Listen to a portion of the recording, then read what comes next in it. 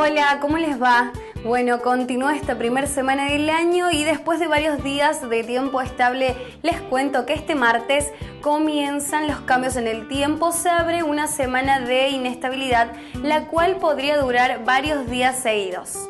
Esto va a ser producto de un nuevo frente que ingresa desde la región patagónica, el cual estaría generando con mayores probabilidades de tormentas afectando desde el centro hacia el norte del país como pueden observar. Y vamos a tener también un leve descenso en las temperaturas, pero en general todo indica que va a ser una semana bastante pesadita en cuanto a inestabilidad y a un tiempo muy húmedo y cálido mientras que para el sur de la región pampeana y también en la Patagonia vamos a tener buen tiempo con algo de nubosidad variable, cielo despejado y algo de inestabilidad también en el punto más austral. Nos vamos al norte del litoral donde vamos a tener un cielo parcialmente nublado con mínimas que van a rondar los 24 y 26 grados, realmente temperaturas muy elevadas para comenzar esta jornada y en horas de la tarde las máximas estarían ascendiendo y llegarían a ser de 37 y de 38 grados.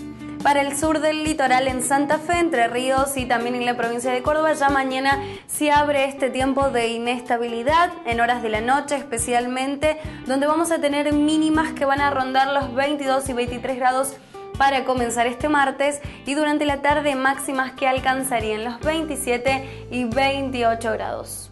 En La Pampa cielo cubierto, en Bahía Blanca de igual manera 18-20 de mínimas, 30-32 de máximas y al este de Buenos Aires ya comienza la inestabilidad a afectar con lluvias y tormentas. Las temperaturas mínimas van a ser de 17 y de 19 grados también. Atención al norte de Buenos Aires, en Luján especialmente, donde las máximas estarían alcanzando los 25 y 27 grados.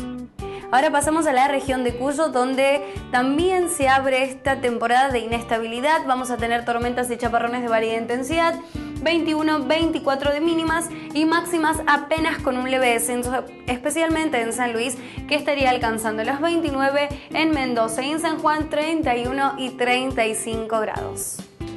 Hacia el noroeste argentino se espera también inestabilidad, tormentas de variada intensidad, cielo cubierto en la precordillera 17, 23, 26 de mínimas y máximas de 24, 30 y de 33 grados. Por último nos vamos hacia el sur del país. En la región patagónica donde todo indica que va a ser una semana tranquila en cuanto al estado del tiempo, excepto por algunas lluvias que estarían afectando el punto más austral.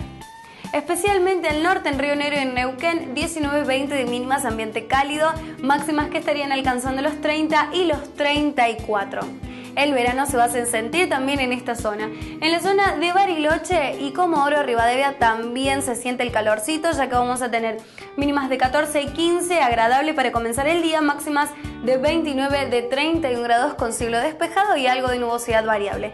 Y como les comentaba, vamos a tener sí algunas lluviecitas afectando el sur de Santa Cruz y en Tierra del Fuego y en Malvinas también con cielo parcialmente nublado y probabilidades de lloviznas intermitentes. Las mínimas estarían rondando los 5, 7 y 9 grados y las máximas serían de 13, 15 y de 17 con rápidas mejoras apuntando hacia el día miércoles. Eso es todo por hoy y estas son las condiciones del tiempo para este martes 6 de enero en todo el país. Muchísimas gracias por acompañarnos siempre y nos volvemos a encontrar en una próxima emisión del pronóstico del tiempo a través de Infoclima.